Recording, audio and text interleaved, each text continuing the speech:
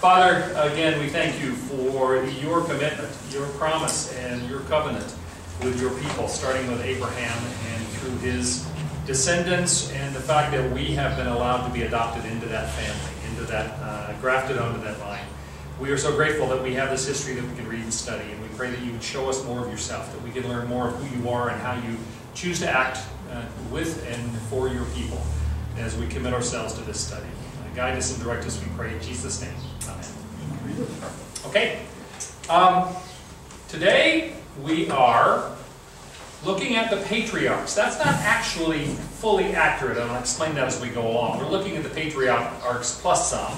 Uh, Genesis 12 to 50. Is everybody, are you reading this as we go along so that you're, you've got a sense of it? I know some people are, like I say, Ron said earlier, man, they did crazy stuff back then. Well, yeah. You do have to remember that this, you know, this is over 4,000 years ago that uh, at least Abraham's part of it, and so uh, very, very ancient times. We'll look at that, that chart again shortly in terms of kind of where this fits in history. Um, outline for our class, of course, the introduction. Last week we looked at the first 11 chapters of Genesis, the primeval prologue. Today, Genesis 12 to 50, the patriarchs plus some. Then the next two weeks after today, we'll study uh, Exodus 1 to 18, which is the, the actual Exodus part, the exiting of the Hebrew people with God's blessing out of Egypt and slavery in Egypt. And then uh, the week five, we will look at Exodus 19 to 40, especially focusing on the covenant at Sinai, when God gave his law, the Mosaic covenant. Today we're going to look at the Abrahamic covenant and how that was renewed. And then on the week five in Exodus 19 to 40, we will look at the Mosaic covenant and the giving of the law. Then one week on Leviticus, one on Numbers.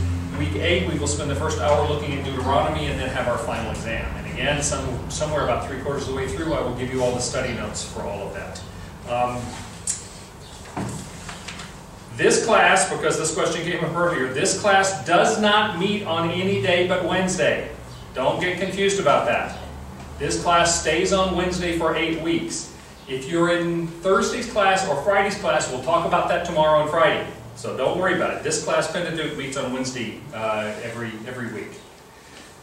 Okay, we are looking, of course, at the book of Genesis, the book of beginnings.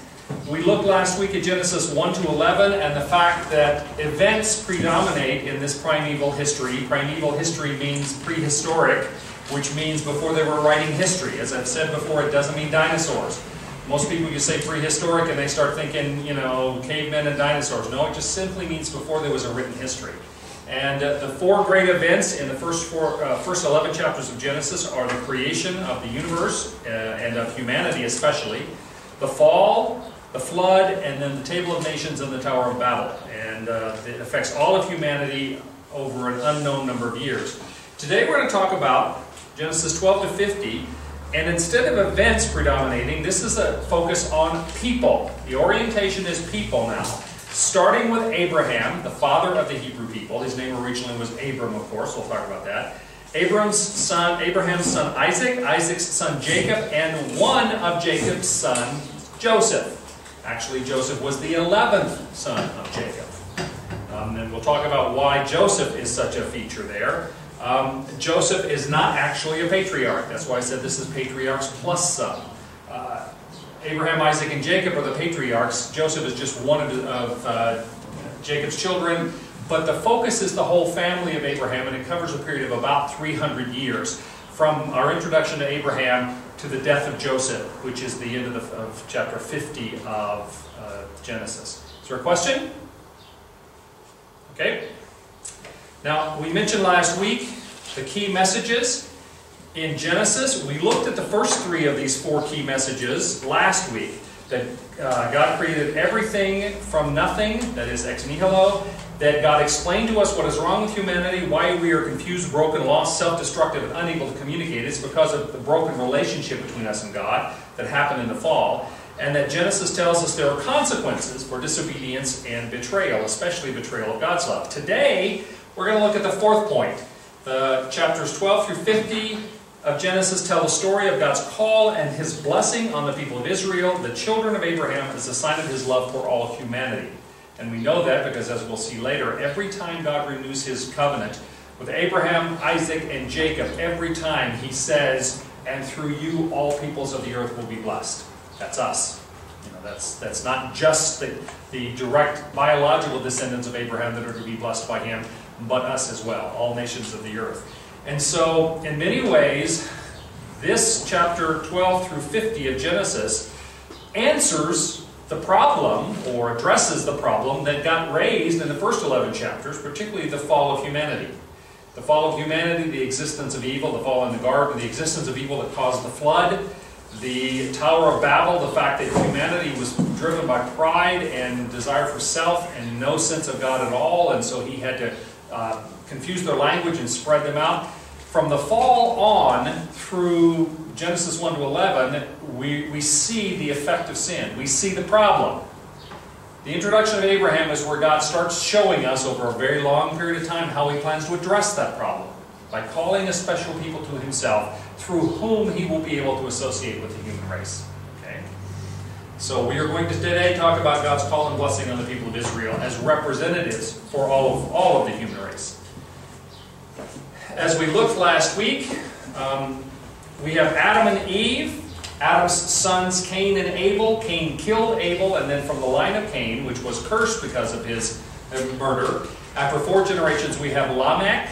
Lamech is a very rough dude. He's the first one to, as far as we know, to practice polygamy. He says he killed a man for offending him, and he'll kill anybody else. He'll, he'll do 70 times 7 worse to anybody who does him harm. So very, you get this line of Cain, a very sense that, that they are very selfish, very uh, determined to get their own way, uh, not what God desires. Well, after the first two sons, one, one murdered and the other exiled, uh, Adam and Eve have Seth. Through the line of Seth is the blessed line of God. After eight generations from Seth, we have Noah, and God determines to use a flood in order to cleanse the earth. Noah had three sons. Uh, the three sons were Shem, who is the father of the Semitic peoples, uh, Ham, and Japheth. Ham ends up being the uh, progenitor to the Canaanite people, Shem of Abraham, and the Semitic people. All right, so that's the the genealogy, the, the sort of from a 30,000 foot viewpoint. That's the genealogy we're talking about. I showed you this chart last week, the major parallels in world history. You'll notice at the top, I've got Abraham around 2100 BC through Joseph's death around 1805 BC. That's the period that we're talking about today. And to give you a context for that, Abraham would have lived about 100 years before Stonehenge in England. Now, we see Stonehenge, these big standing stones. You know what Stonehenge is, right? And think, boy, that's old. Well, Abraham was older than that. Um, there was civilization in the Middle Eastern part, or what they used to call, uh, or what's called the ancient Near East in terms of the our scholarly study of it. There was civilization and historical figures we can identify, etc., there before there was any kind of civilization that we can identify specifically in Western Europe. Stonehenge was the product, we believe, we don't even know for sure, we believe of Druidic peoples and Druidic ceremonies, but we know almost nothing about that. When I say we think it was the Druids, we don't even know that for sure. Um, and so we have a lot more information about what's happening in the ancient Near East and the civilizations that came out of there. Remember, as you can see from this, you know, from this list, we believe the wheel was invented in this part of the world where Abraham lived. Uh, cattle were domesticated. Pictographic writing began there. The, the pharaohs started a thousand years before Stonehenge, the pharaohic dynasties. Um, the pyramid was built 2670, the first one. Corn was domesticated in Mesoamerica, that is Central America um, around 2475. So you get the idea that we think of ourselves as being the descendants of civilization in Western Europe, for instance. Civilization in Western Europe was, was way behind most of the rest of the world. Okay? Um, give you, gives you a sense of the historical context for this. Bob? When you look at this sketch of the progress of civilization, now, it's not a sketch of the progress of civilization. It's the progress of civilization in this particular part of the world. Yeah, I understand. Okay.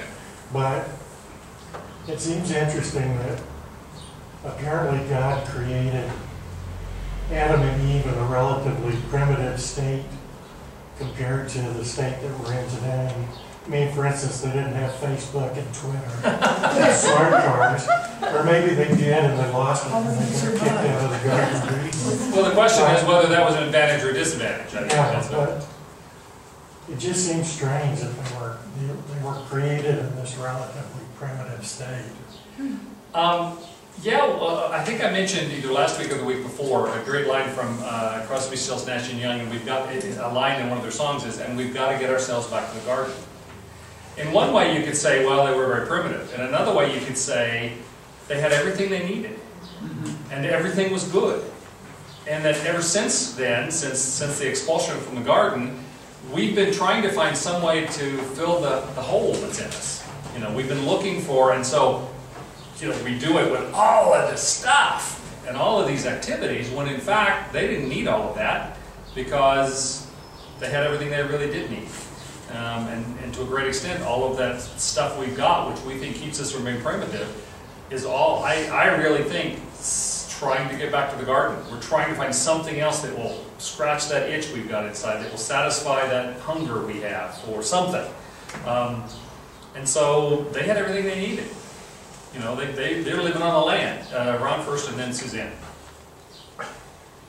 One, one item in there, twenty-four seventy-five BC, maize is, looks completely out of place since it's so removed from the rest of the world. It is. In fact, I, that, I put that in there simply so you have a context. There is something happening somewhere else in the world. There were Yeah. some evidences of civilization in ancient China as well, you know, in, in Asia. Um, but so many of the things really did start here in the Middle East, in Mesopotamia, and the ancient Near Eastern area. Um, and then some of the other things that, you know, there was a kind of writing that developed in Mesoamerica later than, than the uh, ancient Near East, but we do have other, other signs of advancement as we go along. Um, so, How was, how was that migration accomplished from the early years of civilization? uh, wasn't migration. We didn't have corn until some, until the I mean, discovery of- of the New World. Of, of how did, how did we go from Adam and Eve to, How do people get there? The people in Central America? Well, I, I think I mentioned to you all that I did the, National Geographic has a thing called the Genome Project, where you send them your DNA and they'll tell you where you came from, okay? Uh, genetically, all people that are alive today are traced back to Africa. And they're able to trace that from Africa, peoples moved up through Mesopotamia. I mean, through this, this bridge between the three great continents of the ancient world. Some went into Europe, some went into Asia. The belief is that there were connections at, at one point between Asia and Australia and between Asia and uh, the Americas. The, the famous land bridge, they don't know for sure about any of that, but that's the estimate based upon what they can tell about genetics. And so there, it was possible for people to make some of that connection. You know, it's really not very far, even today, from Asia to the Americas up in the Aleutians. You know, you remember the famous comment from Sarah Palin, I can see Russia from my front porch. Mm-hmm. Well, yeah, those things are pretty close up there. And so, given what the climate may have been or whatever, people managed to cross over. Now, we don't really have a lot, we don't have hardly any detail about that. We can track the, you know, some of the genetics. It's also true that there are lines of genetics that died out. For instance, I'm 2% Neanderthal. Okay? Um, now, lest you think that that makes me somehow less, the average for, for people in the Western world today, that is non-African peoples, uh, the Caucasian peoples, is usually around 4%. So I'm less Neanderthal than you are. Um, but two lines of peoples, Neanderthals in Europe and Denisovans, which was a Neanderthal-like people in Asia, depending upon where your genetics are, you, you have some, almost certainly have some percentage, unless you're uh, 100% African lineage, people that never left Africa, you probably have Neanderthal or Denisovan, and they're able to track that kind of thing. Well, those, those were uh, a humanoid peoples that died out. There are other lines, genetic lines that have died out, and we, you know, someday it'll be fun to learn more about that. We don't know a lot about it right now. That's why they have projects like the Genome Project to try to help us understand that. And I love that kind of science, you know. I don't want anybody to ever think because I believe Scripture is true that I'm not interested in science. I really am. So, Ron? Uh, I remember in college, Western Civ 1 and Western Civ 2. Is there an equivalent? There must be in East, in the East. Well, you, yeah, you can study Eastern civilization, it's, it would be considered Asiatic studies, or, you know, particularly you can study development of Chinese culture and history, that sort of thing, which is the largest one, or, or the Indian subcontinent, you can look at that as well. Suzanne, you had your hand up earlier, No, just thinking about Bob's statement, and in, in the Garden of Eden, Adam and Eve had everything Mhm. that they needed. Absolutely. And when they were sent out, they, as civilization goes along, what we have today is not only, I think, a, a, um, trying to fill the hole, it's also a big distraction. It can be, uh, it can be a bad thing. It's a burden sometimes more than anything else. I agree, absolutely. Um, that's why Carolyn and I want to plant a garden, you know, we're trying to get back to the land, so. Okay, you've got a context for that now. Um, so, the patriarchs, Abraham, Isaac, Jacob, and Joseph. As I said, Joseph is not a patriarch. He is um, the 11th son of Jacob.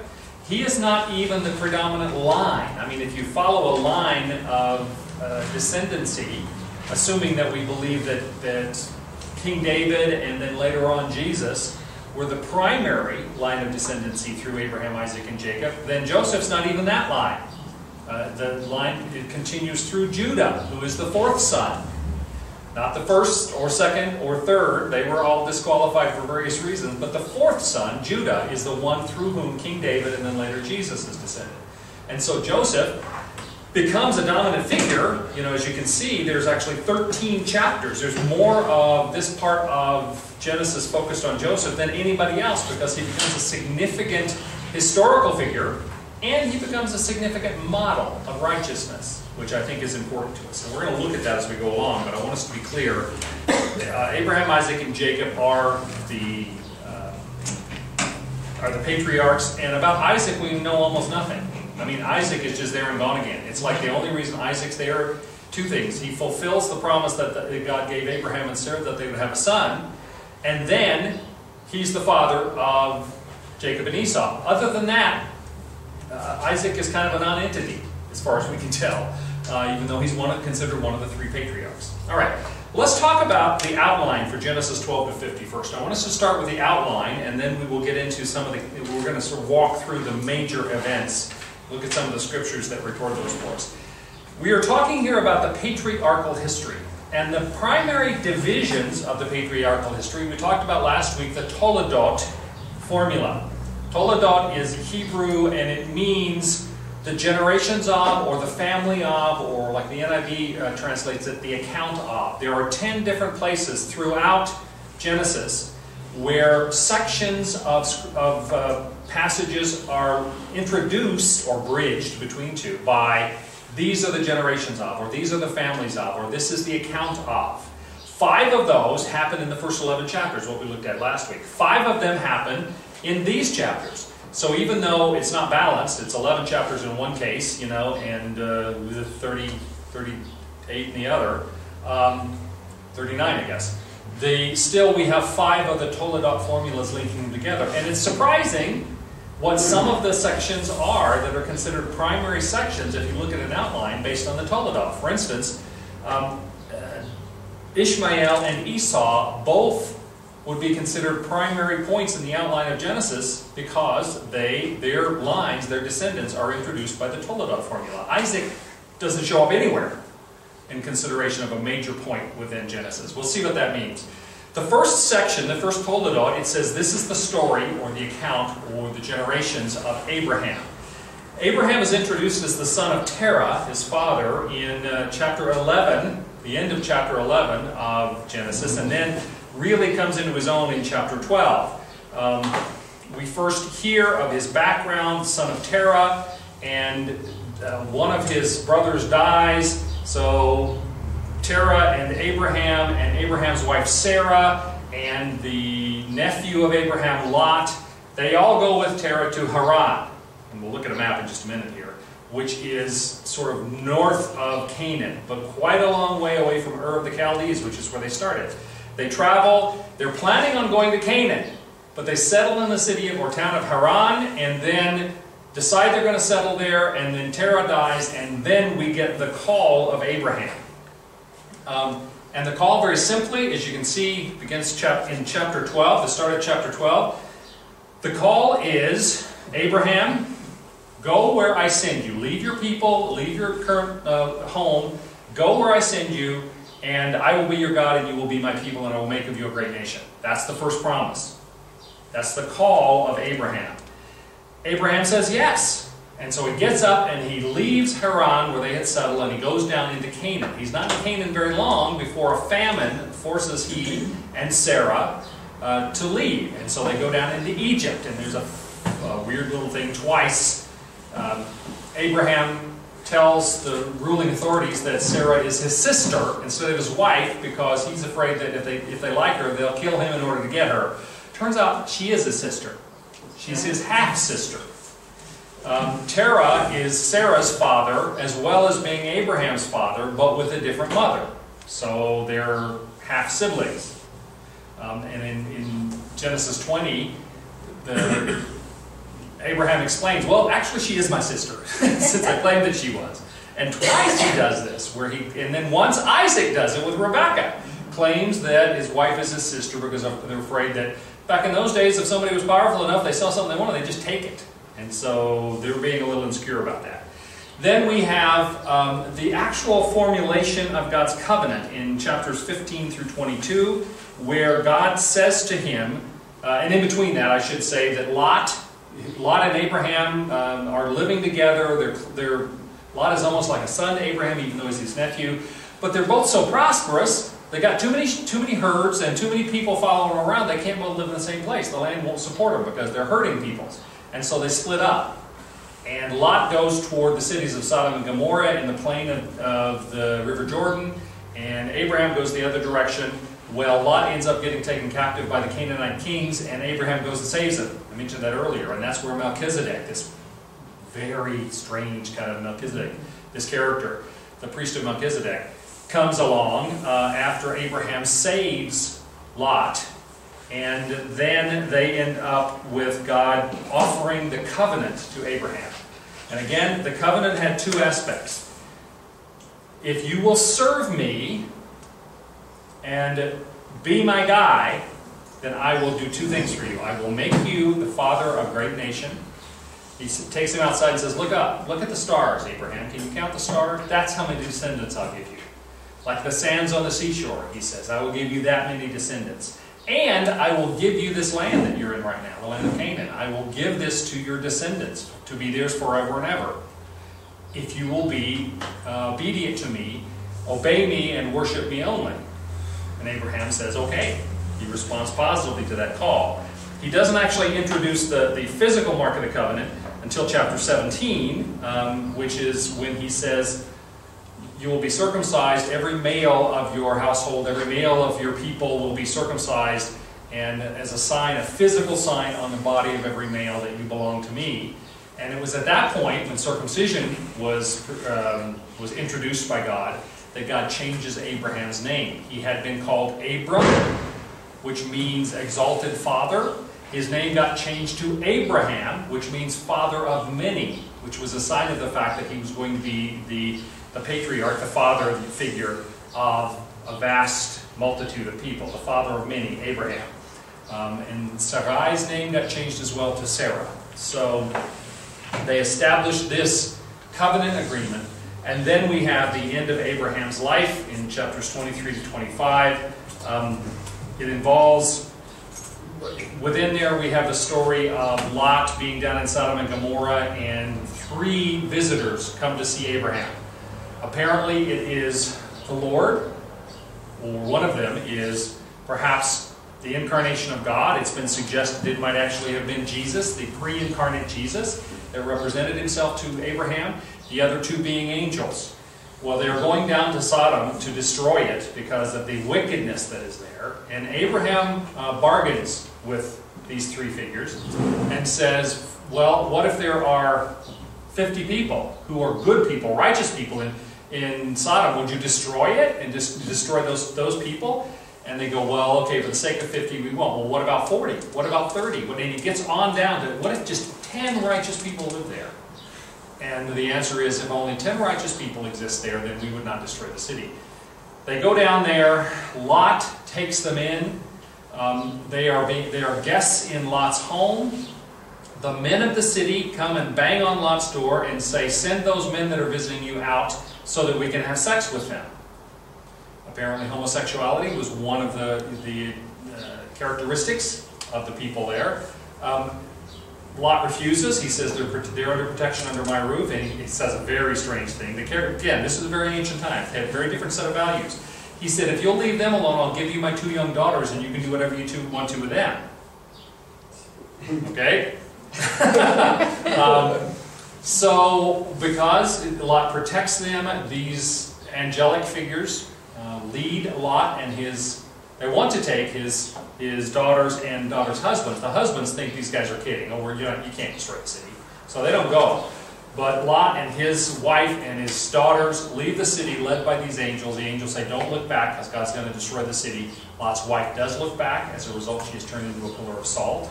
And in that part of the world, there are pillars of salt that you see across the plains. Sodom and Gomorrah are destroyed. And um, you get this sense of complete and utter annihilation uh, that occurs fire from heaven kind of stuff, where uh, Sodom and Gomorrah are both destroyed. Later on, after this in verse 21, the promise had continued to be coming to, to Abraham and Sarah that they would have a child. Um, the, because they get tired of waiting, they wait over 10 years. Sarah finally says, Well, maybe God means, Abraham, that you're going to have a son. Not that I'm going to have a son, because Sarah's saying, I'm too old to have a son. Even though uh, later on she's promised, no, you, we mean you, Sarah. But she gives her handmaiden, Hagar, who is an Egyptian handmaiden, to Abraham. He sleeps with her. She gets pregnant and has a son, Ishmael. So Abraham and Sarah are thinking, okay, well, God is fulfilling his promise to us through Hagar's son by Abraham, Ishmael. But Later on, when these three visitors have shown up, they say, No, Sarah, a year from now we will be back, and by then Sarah will have a child. And Sarah laughs. She's off in the tent. She's not in front of him. She laughs. And one of the guys says, Sarah, why did you laugh? And she lies and says, I didn't laugh. Me? I didn't laugh. What's funny? And they said, No, you laughed. But it doesn't matter. You will have a son in a year. And she gets pregnant. She has Isaac. They name it Isaac because Isaac means he laughs. So Isaac is born. Sarah starts getting jealous of Hagar and Ishmael, who's like 13 years old by now. And she gets jealous and tells Abraham he has. In fact, the funny thing is, Sarah says, It's your fault that she got pregnant with that child. You know, and I'm sure Abraham's going, What? You made me do that! but uh, Abraham is, doesn't want to send them off, Hagar and Ishmael, because Ishmael is his son, even though it's a son not by his wife, but by his wife's handmaiden. But God gives him a message and says, No, go ahead. Go ahead and send Hagar and Ishmael away because I will make of Ishmael a great people. The second of the Toledot formulas is, and these are the generations of Ishmael. Not of Isaac, of Ishmael. And God, you know, we're, we're, given the whole line here of all the descendants of Ishmael. He will be the father of a great people himself. Right? So, and Ishmael was a father of a great people. They are the Arabic peoples, which is one of the reasons Semitic and Arabic peoples, you know, um, have never gotten along is because of the split between uh, when, when they Abraham kept Isaac and sent off Hagar and Ishmael. Now, the Muslims see Ishmael as their heir. It was through Ishmael that the, the Arabic peoples and therefore Islam came. And they have very different, the Quran has very different stories about this. For instance, it was Ishmael that Abraham almost sacrificed. Okay, so they have a different orientation. Sierra? Um, when you were talking about the, the sending him away, I thought it was funny. I've never really thought of it being that big of a deal like that that um, Sarah wanted to send them away, Hagar and Ishmael, because I was like, well, I would want the same thing, but like I was reading, like in our text, where like in the old, like ancient rules, I don't know if it was the law of Hammurabi, I think it was the law of Hammurabi, where it was saying that um, back then, they, uh, if the handmaiden had a son, then they couldn't send him away. Hmm. And so I thought that was interesting because I've never thought of that. Maybe that was a law back then, so maybe that's another reason why Abraham didn't want to send him away. Yeah, it was, um, it wasn't part of the Jewish law, but it was, it was traditional in that part of the world. In Canaan, in that, in that time, it was quite common for handmaidens to bear children to the, you know, the head of the family.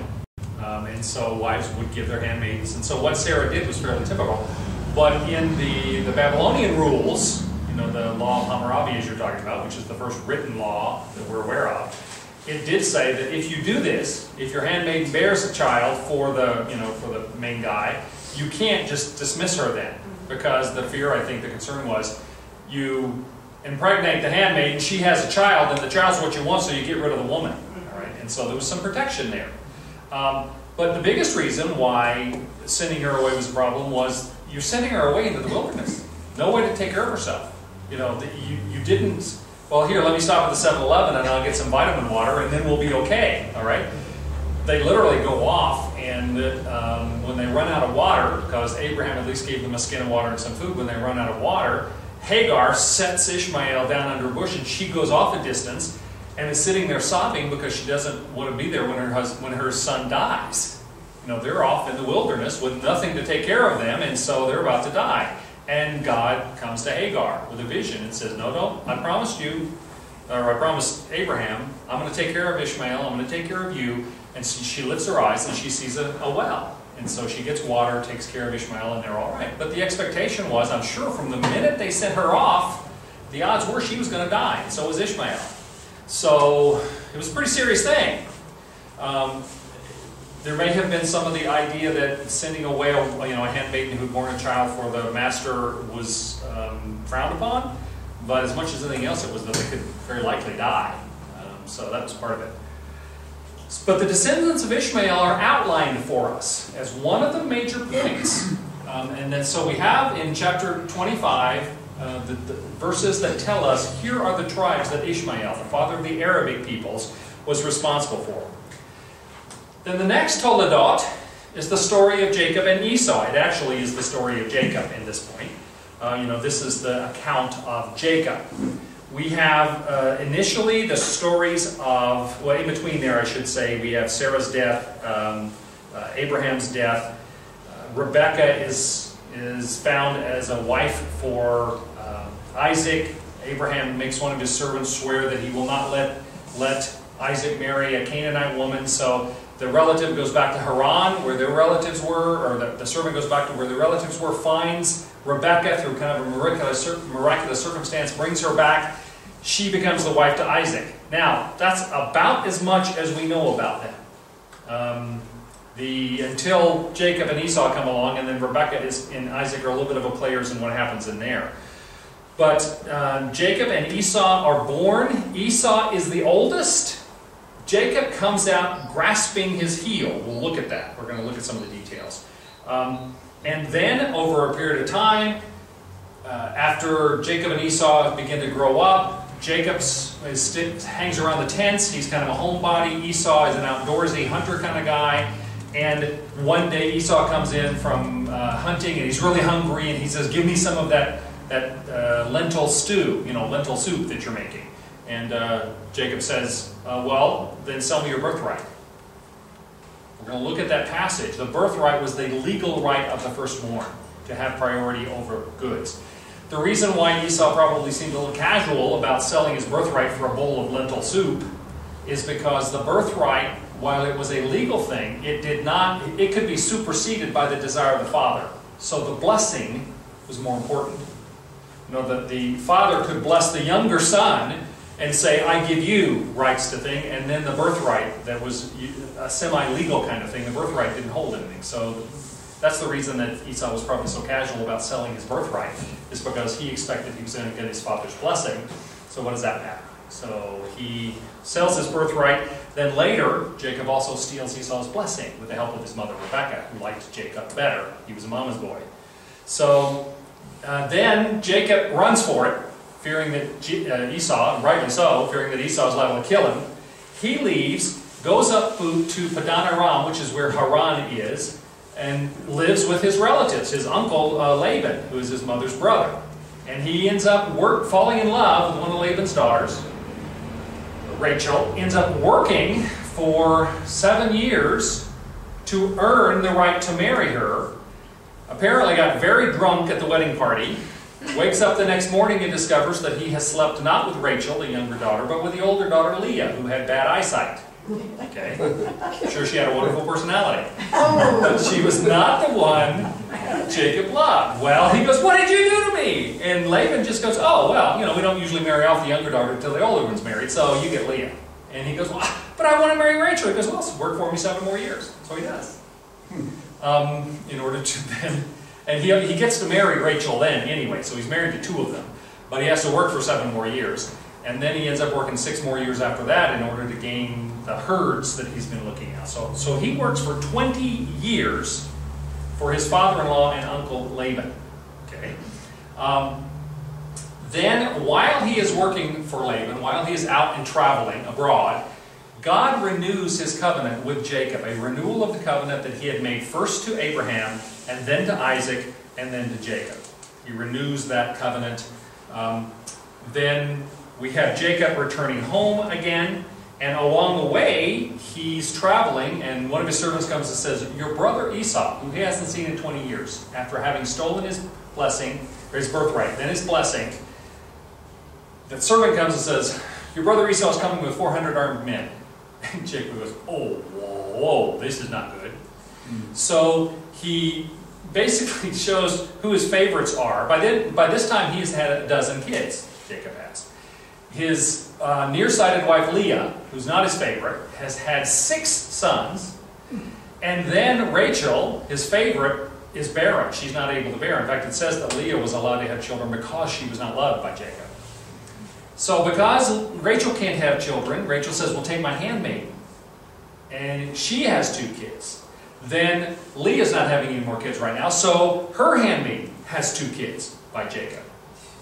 So Zilpah and, and Bilhah, you know, they have, so there's six children by Leah, two by Zilpah, and two by Bilhah. You know, so we're up to ten.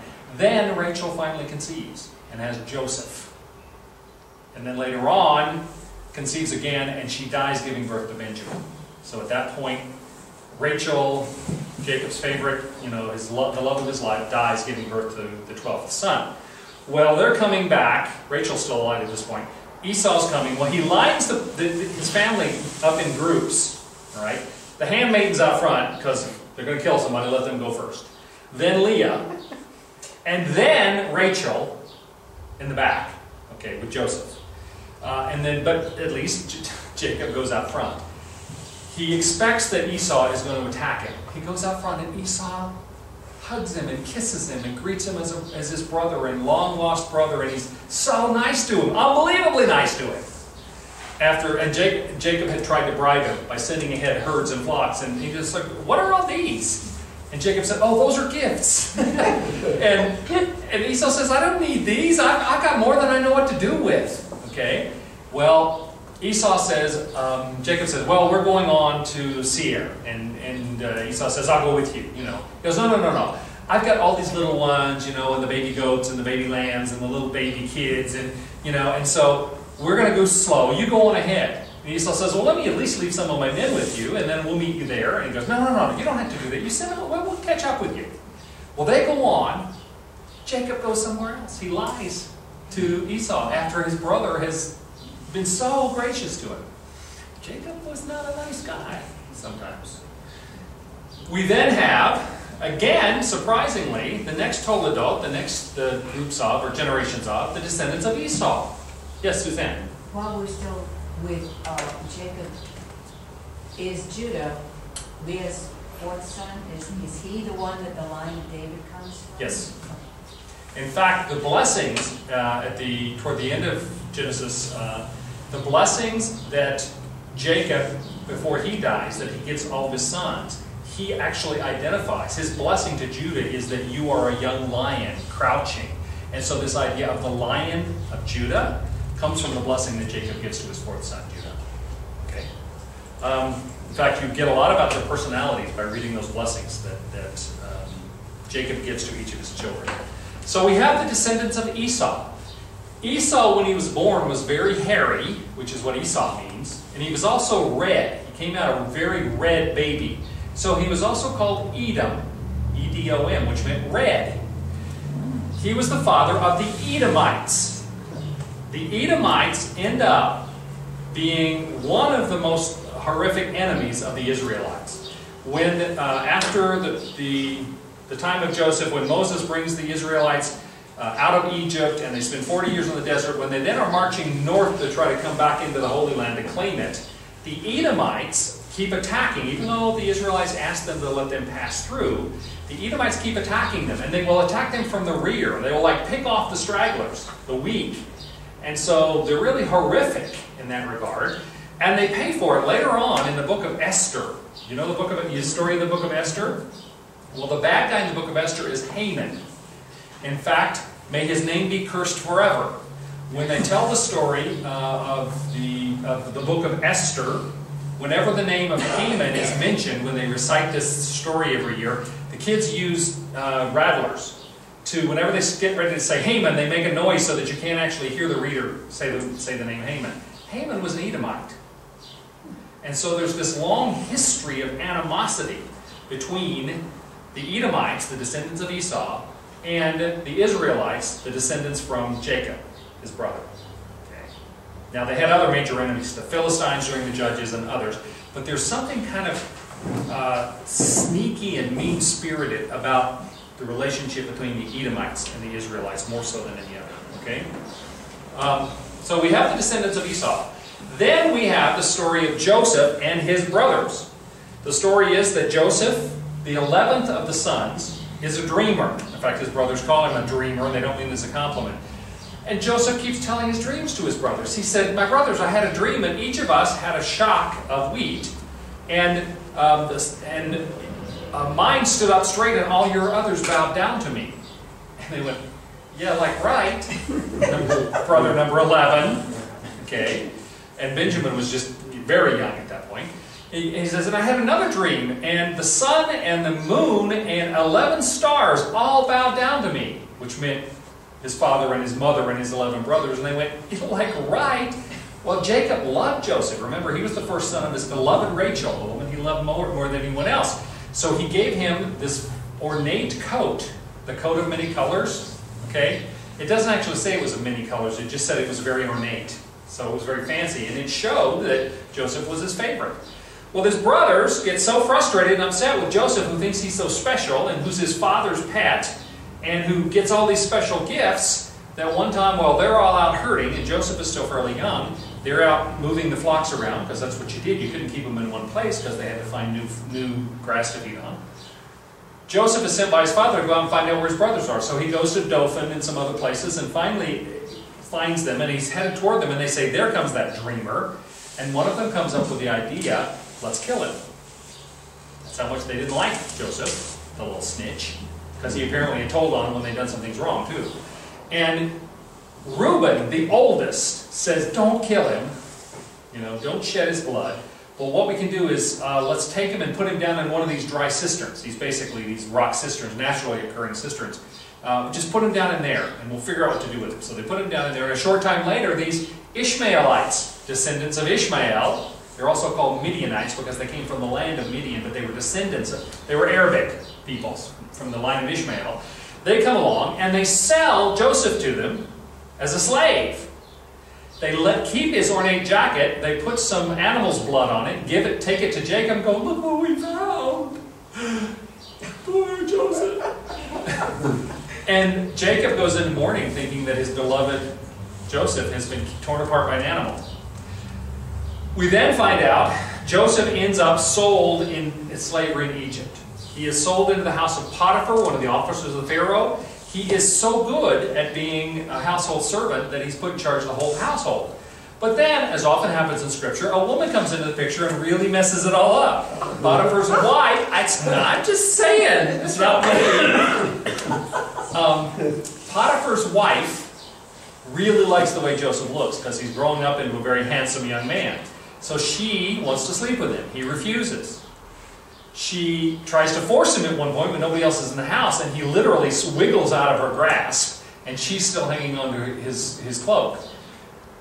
She's so mad at him, she calls the servants and said, This, this Hebrew who has been in here as a servant had came in and tried to make sport of me, to rape her, she said plain. And see, I grabbed his jacket as he, as he got away. She tells her husband, her husband has him thrown into prison for something he did not do. And by the way, when Potiphar's wife is asking Joseph to sleep with her, he says, I've been entrusted as, as the manager of this whole household. How could I do something, you know, now to violate the trust of my, of my boss, your husband? And more than that, how could I commit such a sin against God? So even though Joseph had been a little less than sensible in telling his dreams to his brothers, he grows up into a man of, of significant moral character, and that moral character he attributes to obedience to God and what God wants him to do. So he becomes a model for moral righteousness when most of his brothers were not. Okay, we have some very bad stories about some of them, like Judah sleeping with who he thinks is a prostitute. It turns out it's his daughter-in-law, you know, and, and you know, she has two twin sons by her father-in-law, Judah. You know, so there's all kinds of messy stuff going on here. Some of the crazy things I think Ron was talking about. Bob?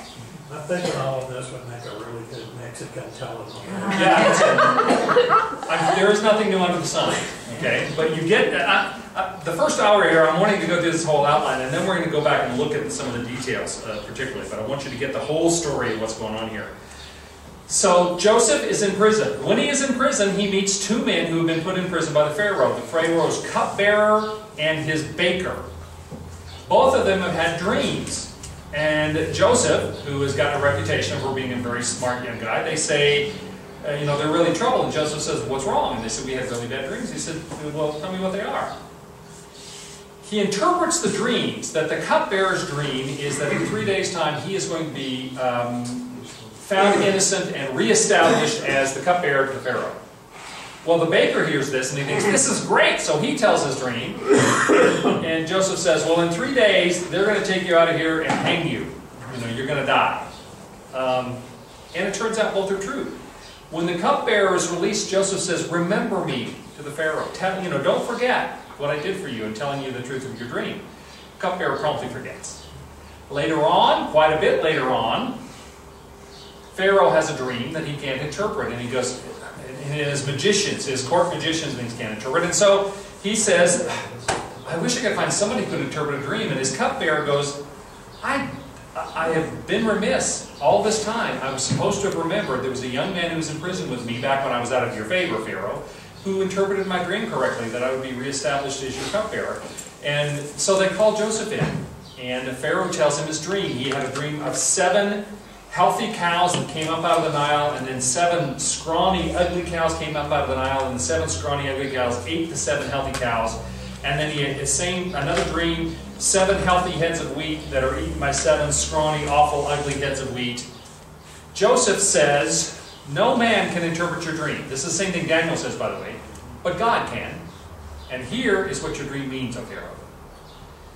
Seven years of plenty, wonderful harvest will be followed by seven years of famine. And the seven years of famine will be so devastating that, that the whole region will suffer.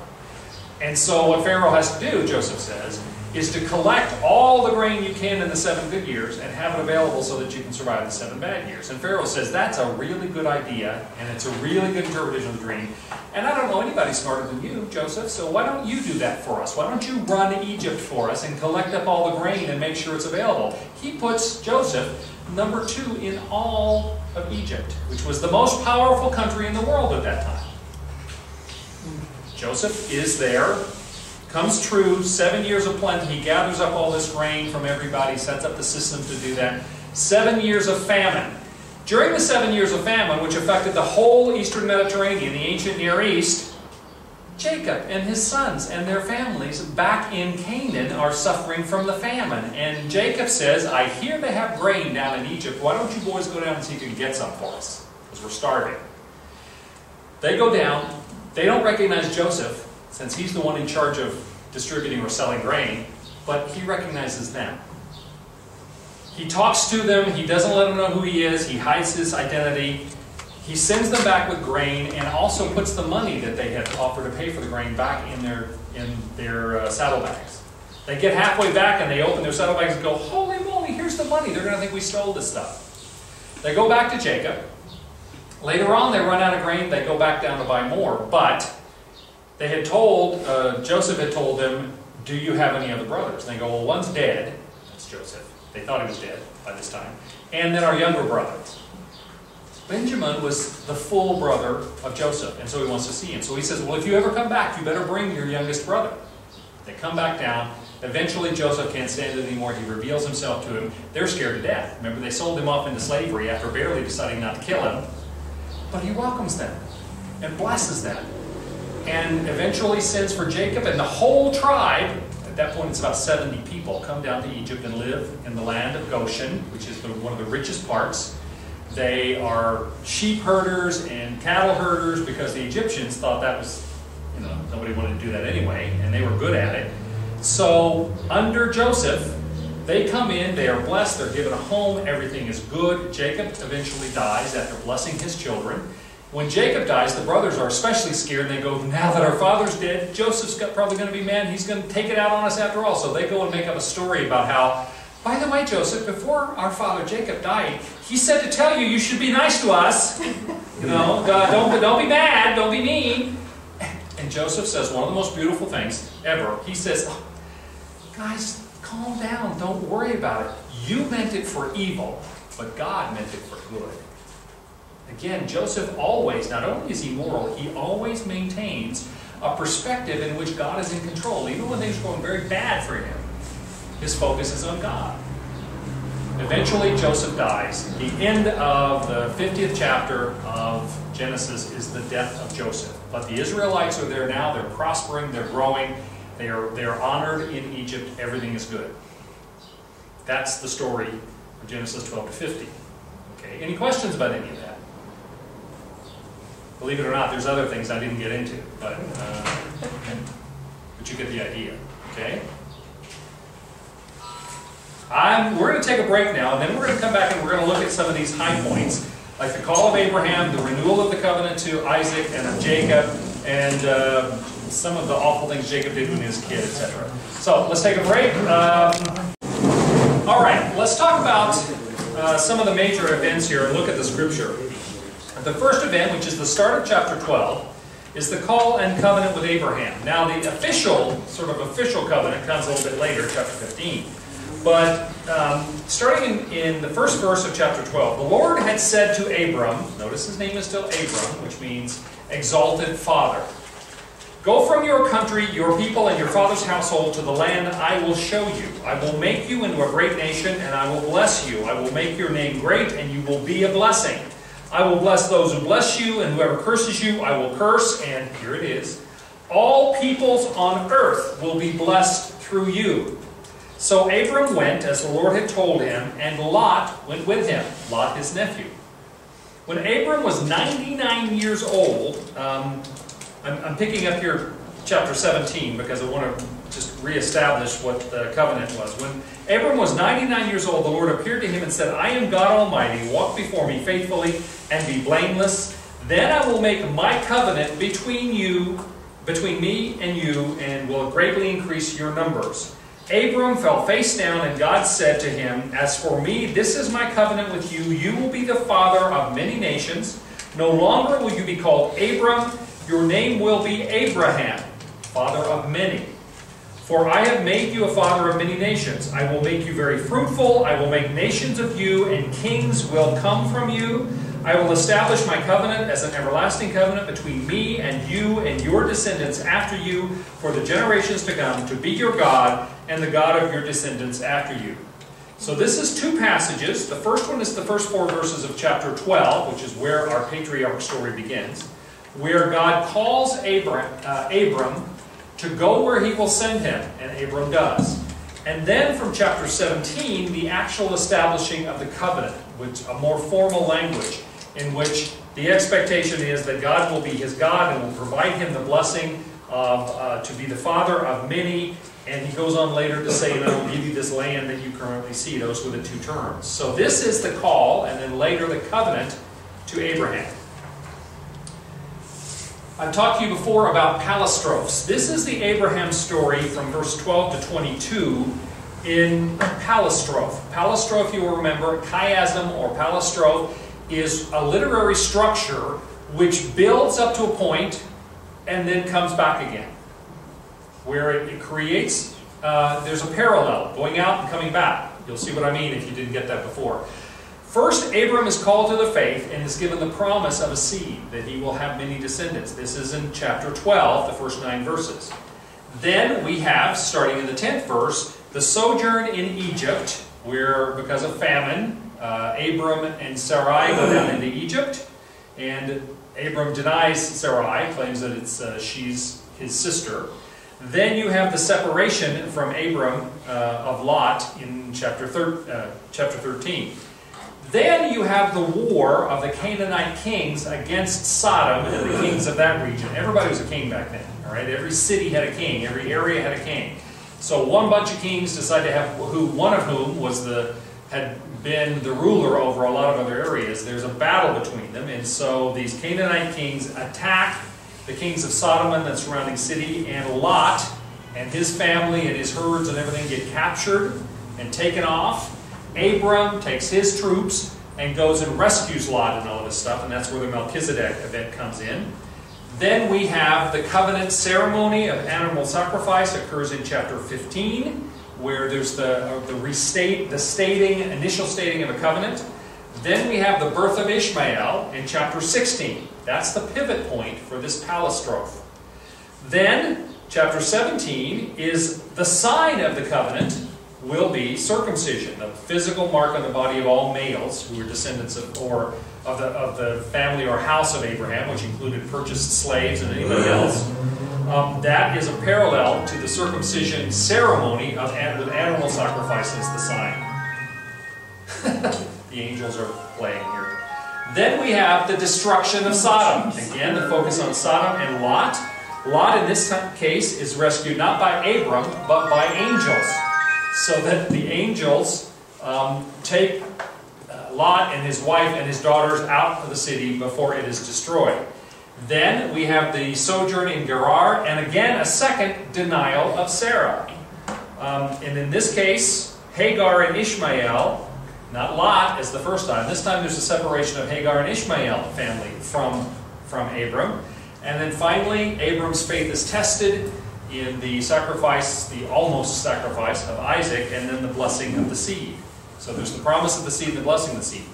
As you read these, you can see that this builds thematic lines up to the point of Ishmael being born, and then it reestablishes parallel points as it, as it recedes from that.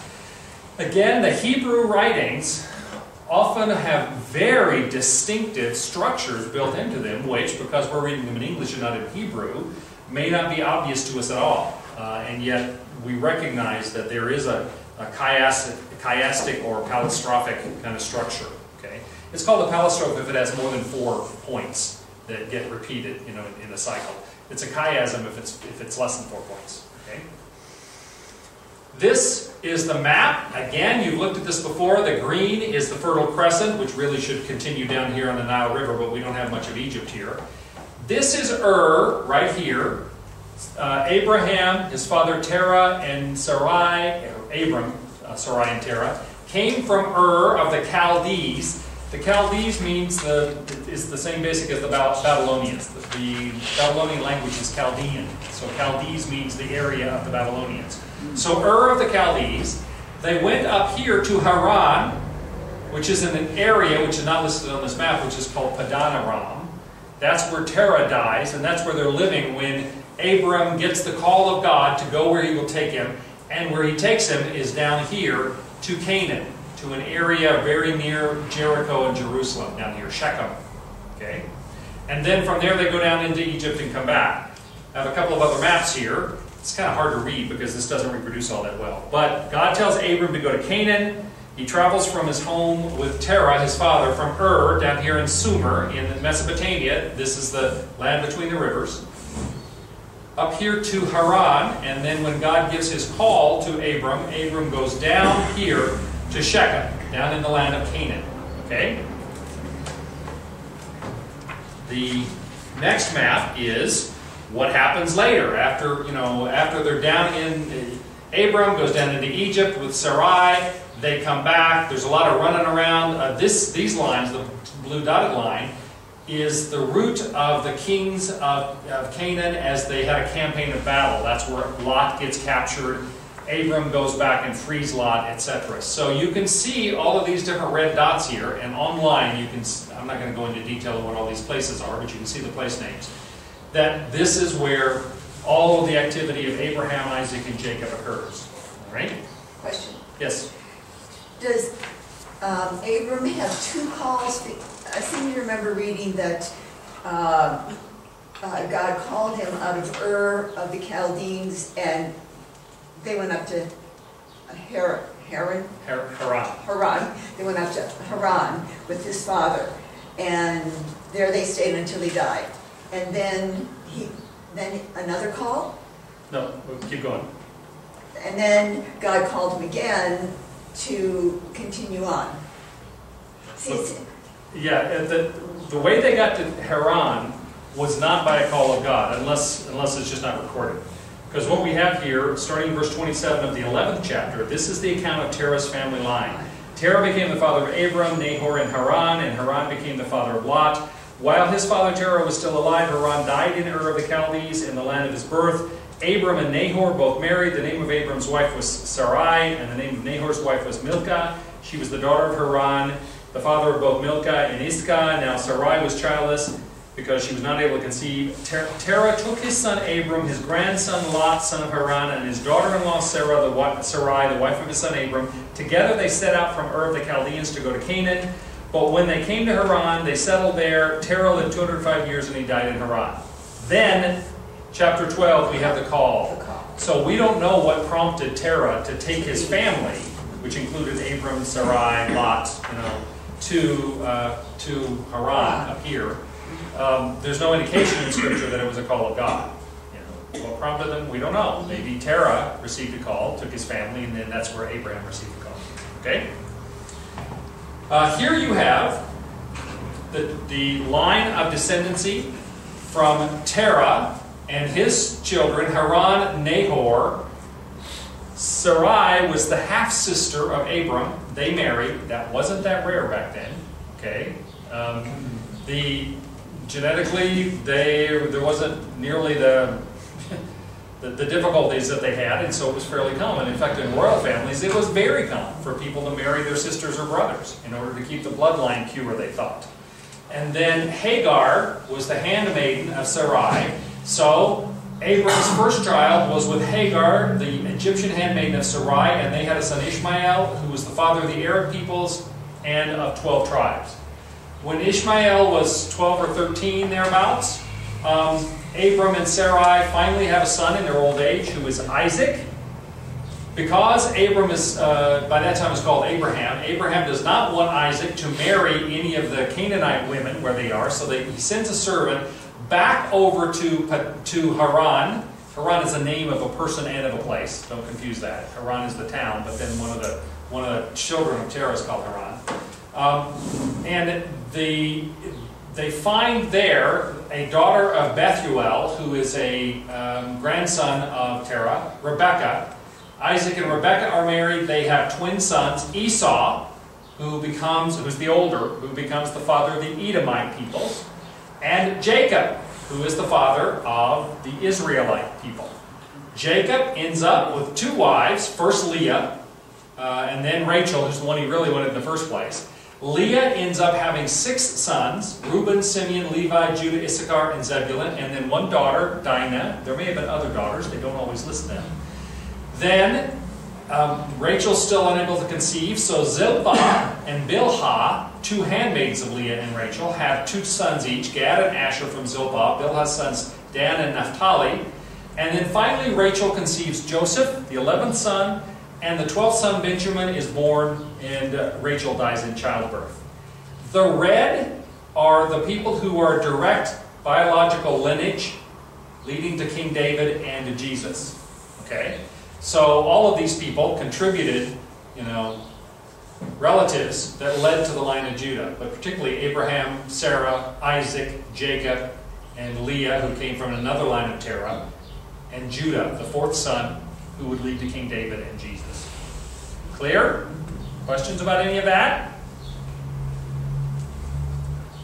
It was a man's world. Yeah, it was.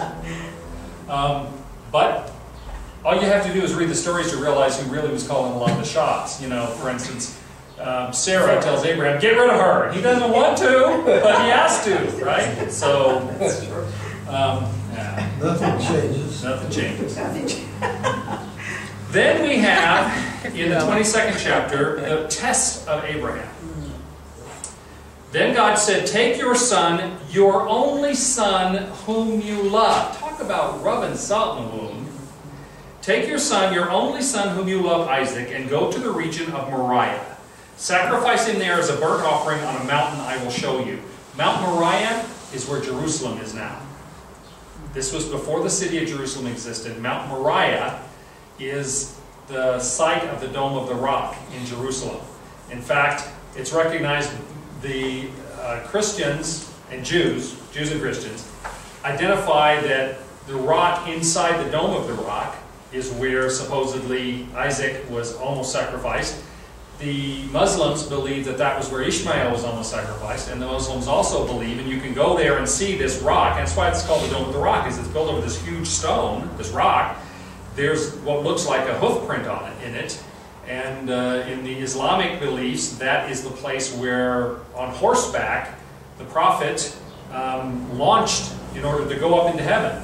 Um, and so, when he's on horseback and he leaps into heaven on horseback, the horse left a footprint there, a hoof print on the rock. So, they'll point that out to you if you go today. Anyway, um, early the next morning, Abram, Abraham got up and loaded his donkey. He took with him two of his servants and his son Isaac. When he had cut enough wood for the burnt offering, he set out for the place God had told him about. On the third day, Abraham looked up and saw the place in the distance. He said to his servants, Stay here with the donkey while I and the boy go over there. We will worship, and then we will come back to you. When he reached the place God had told him about, Abraham built an altar there and placed the wood on it. He bound his son Isaac and laid him on the altar on top of the wood. Then he reached out his hand and took the knife to slay his son. But the angel of the Lord God called out to him from heaven, Abraham, Abraham. Here I am, he replied. Do not lay a hand on the boy, he said. Do not do anything to him. Now I know that you fear God because you have not withheld from me your son, your only son. And of course, they look around and there is a, it's either a lamb or a baby goat that's caught in the thicket next to, next, next to them. They capture it, they bring it, they, they sacrifice that animal. Now, this terrible thing that Abraham is called on to do. Now, it's likely that the reason, if, if I'm sure Abraham just tore himself apart over this, but he did it, and it may very well be that it was because um, child sacrifice was not at all uncommon in the Canaanite religions of that day, in that region. And it could be that Abraham, when he hears this from God, is saying, well, this is just a part of God's demand that he has not told me about before, that he demands child sacrifice too. And while he wasn't happy about it, he was willing to do it because he'd come to believe this is the one true God. Again, doesn't mean he liked it, but it was God telling him to do this. So uh, he was prepared to, to obey, and yet was not required to. Right? Because God does not require child sacrifice. What he was uh, demanding is a show of faith. Yes? It says your only son in there twice, when of course he has Ishmael. Well, his only legitimate son, or legal son. The only son of the promise. Ishmael was born, and God actually blessed Ishmael, but Ishmael was a sign of disobedience. Because Sarah, especially, but, but Abraham went along with it, so he's responsible too. Just like Eve's the one that ate the apple, but she got Adam went along with it when she suggested it to him. So going along makes you a guilty party. Um, Abraham went along with it. So in that regard, both of them were guilty of unfaith. They, God had promised Abraham and Sarah, you will have a son. Well, after waiting a while, they decided that either God didn't mean it, or maybe they would try to figure out what God meant. And so Ishmael was not a child of the promise, and not the child that God recognized, even though he blessed him later.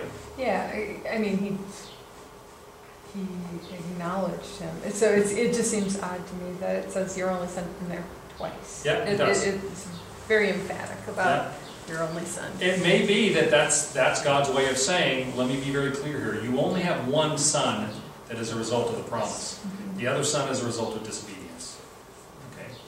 Here first and then Marvin. Yes, Suzanne. Um, he said he traveled for three days, Mhm. and throughout, throughout Genesis, I notice a lot of three days, three days. Yeah. Does that have a significant tie? Well, it? Three is a perfect number. I mean, that's the reason that we have tripods. Is because any less than that and things fall over, and any more than that and it's a little bit, you know, extraneous, you don't really need more than that. So three is always considered a perfect number. It is the the number of the, the Trinity. And so three gets used a lot, forty gets used a lot, seven gets used a lot. Um, it's also true that to the Hebrews, and this was this all the way up through the time of Jesus, um, when and, and even Paul, they would always round up. For instance, if it took them just over two days, they would say three days. Jesus was in the grave three days. Well, on the third day, you know. Um, the book of Acts says that Paul was in Ephesus three years. Well, apparently he was in Ephesus a little over two years, but because he got into the third year, they call it three years. So, yeah, three was a number they used a lot, but in this case, it's probably more likely that it took him between two and three days to get there on foot. You know, pulling a burro with uh, wood on it and, you know, his, his young son. So, other than that, I don't know. But numbers do mean, mean something. In fact, there's a whole, you've heard about of Kabbalah, okay? Madonna wears a, the string bracelet as a sign of Kabbalah. Kabbalah is the Jewish uh, mysticism, is a Jewish mysticism, uh, kind of a mystic sect of Judaism, and they are huge on numerology. In fact, all of Scripture, you know, every letter has a number value, and so every word has a number value, and they, they have a numerological interpretation of things based upon those values, and it, it gets a little weird. Uh, so, but numbers did mean something. Okay? Um, yeah, I was just going to say, so Abraham had the son Ishmael by Hagar, who was not the son of the promise, but Isaac was through Sarah. Isaac's sons Jacob and Esau.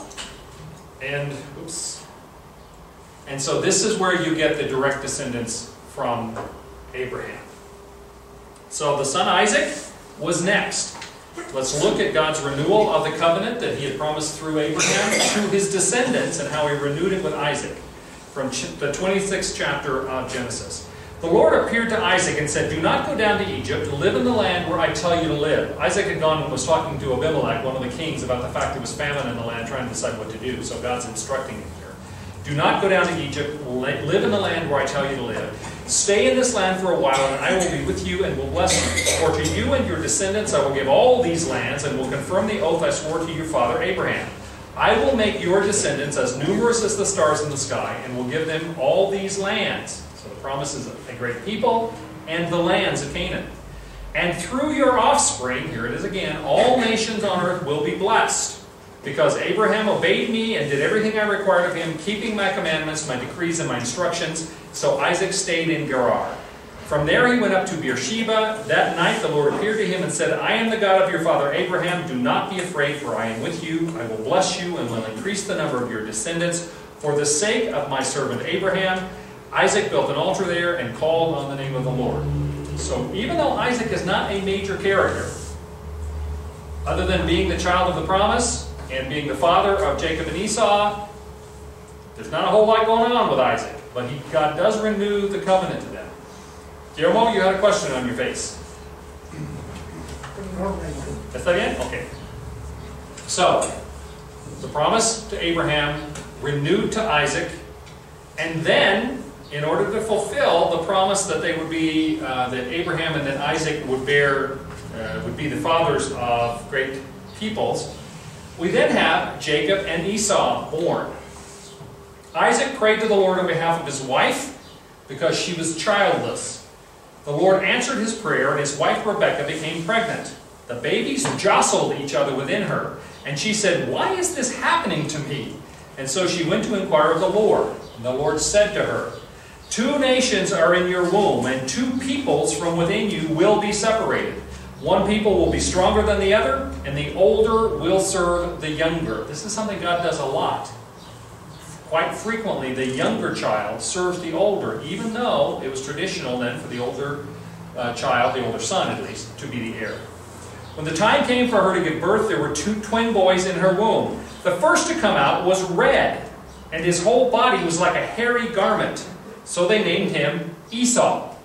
After this, his brother came out with his hand grasping Esau's heel. So he was named Jacob. Isaac was 60 years old when Rebekah gave birth to them. Now, my brother Esau was a hairy man, but I, I am a smooth man. Okay? Um, Jacob, who became the father of the Israelite people, the Jewish people. Esau, who became the father of the Edomites. He's also called Edom because Edom means red. Esau means hairy.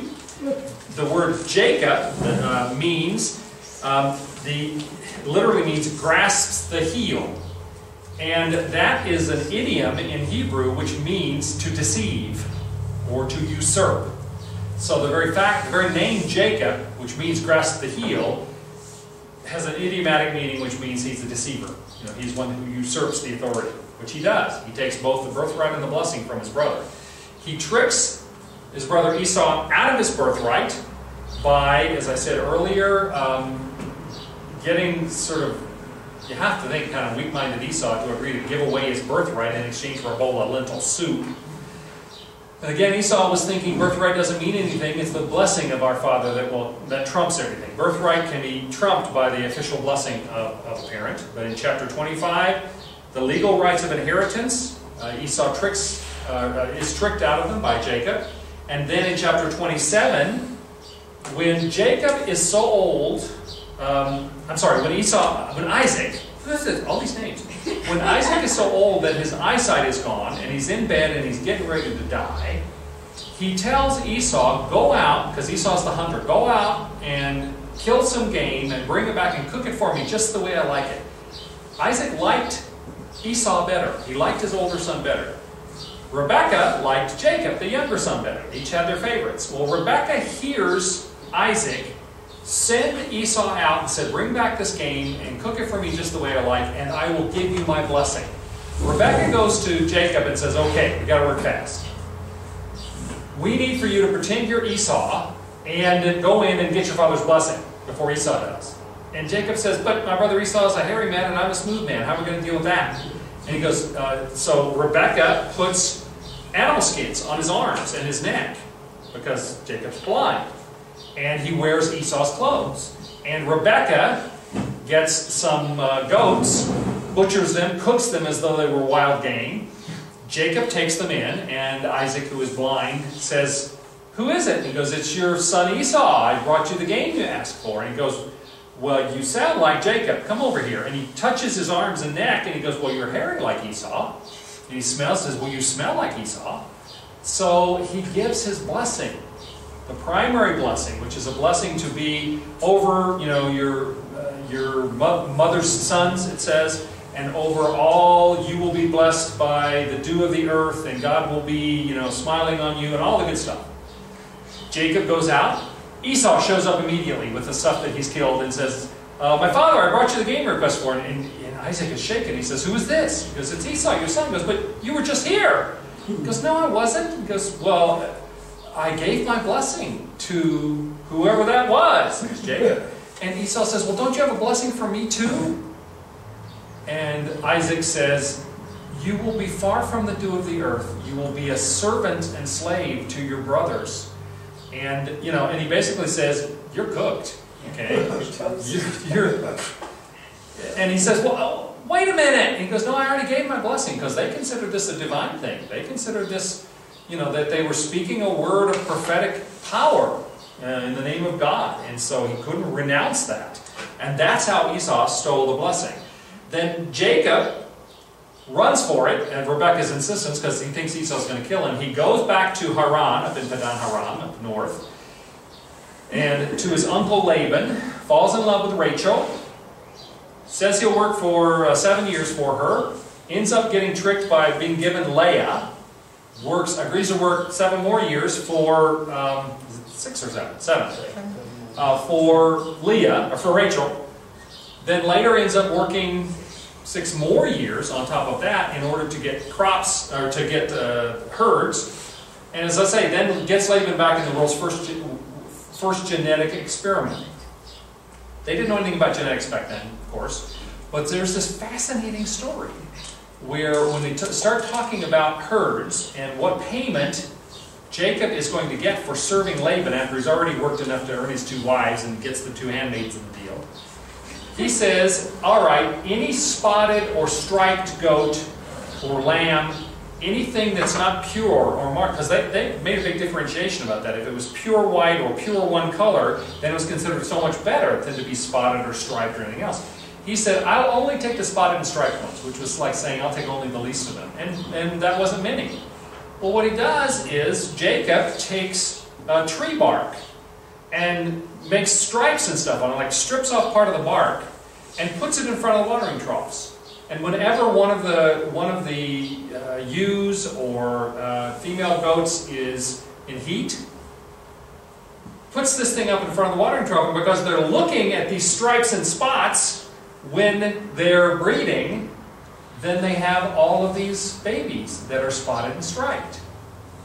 Now, th- this is not very good science,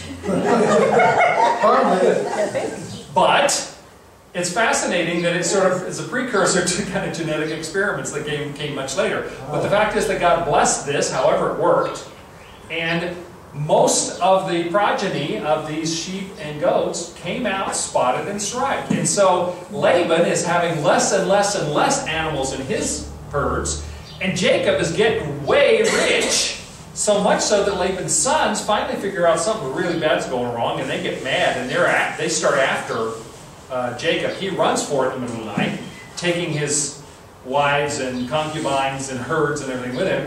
Laban finds out he's left and chases him down, and at first they have kind of a confrontation over stuff.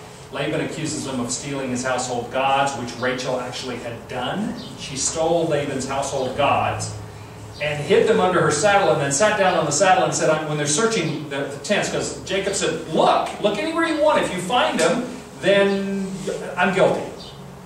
Well, Rachel's sitting on them on her, under her saddle, and she says, I'm sorry, I can't get up, I'm having my period. And they can't touch her because, I mean, she's unclean, so they can't make her get up. And so they get away with it. Which is one of the places, not the only one, one of the places that it suggests that the people back then, you know, not just the Israelite, but Laban and, you know, this is Jacob's wives who took the household gods, may very well, instead of being monotheistic, were henotheistic meaning they had they believed there was one God they ought to worship, but they didn't mean that was the only God. Henotheism means they believed there may have been multiple um, spiritual beings you could worship, maybe angels and demons, but that they were committed to one. So that's henotheism. You pick one, but you believe there may be others. It wasn't until Moses and the law, there's an absolute restriction that says, you know, you will have no other gods before me. And not only that, but you can't have any other graven images of any other idols or anything. And it's as though God is saying, I'm, I'm going to be your only God, and don't even pay any attention to all those others. Again, suggesting henotheism. So, Jacob is rich. He and Laban sort of strike a deal. He points out to Laban, I've worked for you for 20 years, and you changed my, my wages 10 times in order to try to cheat me. And I have always been good to you. I have always done the best by you. So Laban, they finally strike an agreement, and Laban lets him go. Then we have the, the um, in chapter 32 where Jacob wrestles with God, probably an angel of God. He wrestles until his hip is thrown out of joint, uh, and he limps after that. And that's when God renames him Israel, which literally means he struggles with God, okay, or he strives with God. It can either be against or alongside. And then Jacob is headed back with all of his new family and his herds and everything. He meets Esau, as I said. He expects Esau to probably kill him. Esau welcomes him as a long lost brother. They're reconciled, and Jacob immediately lies to him again. You know, and tells him, I'll meet you there, and then he goes a different direction on purpose. Okay, um, so that's the Jacob narrative. There is also, as God had renewed his covenant, uh, his the Abrahamic covenant, as we call it, with Abram's son, uh, Abraham's son Isaac, he also renews it with Jacob in, in chapter 28. Jacob left Beersheba and set out for Haran. When he reached a certain place, he stopped for the night uh, because the sun had set. Taking one of the stones there, he put it under his head and lay down to sleep. he had a dream in which he saw a stairway resting on the earth with its top reaching to the heavens. Here's somebody's in the background playing Stairway to Heaven. Um, and the angels of God were ascending and descending on it. There above, there above it stood the Lord, and he said, I am the Lord, the God of your father Abraham, and the God of Isaac. I will give you and your descendants the land on which you are lying. Your descendants will be like the dust of the earth, and you will spread out to the west and to the east, to the north and to the south. And here it is again. All peoples on earth will be blessed through you and your offspring. I will be with you and will watch over you wherever you go, and I will bring you back to this land. I will not leave you until I have done what I have promised you. So the renewal of the covenant Abraham, Isaac, and then Jacob. This is Jacob going up to Haran, up in the area known as Padan Aram, and then coming back down again to Gilead. So again, the activities are all here right in Canaan, Palestine, what would later be called the nation, the country of Israel. Once again, the you know just the outline, and you will remember that Sarai, and this is in Genesis 20, the 12th verse, where Abram acknowledges the fact that Sarai was his half sister, same father, different mother. Then, when you get down here, Isaac's son Jacob, and then Jacob and his 12 sons and one daughter, and again, there may have been more daughters, but Dinah comes into play here. Um, Joseph's brothers sell him into slavery. This is how he ends up in Egypt. And this is the passage. I've taken a number of verses from chapter 37. So Joseph went after his brothers. This is after Joseph had told the dreams where he, was clearly saying, you guys are all going to fall down and, you know, and not, if not worship me, at least pay homage to me later. So Joseph went after his brothers and found them near Dothan. They were out with the herds. But they saw him in the distance, and before he reached them, they plotted to kill him. Here comes that dreamer, they said to each other. Come now, let's kill him and throw him into one of these cisterns and say that a ferocious animal devoured him. Then we'll see what comes of his dreams. So these cisterns would have been natural hollows in the rock that they would use to collect water. Reuben, the oldest son, intercedes here and says, Don't kill him, come on. Let's put him down in the cistern, we'll decide what to do with him. Um, so he keeps the younger brothers from killing them. Reuben is the oldest.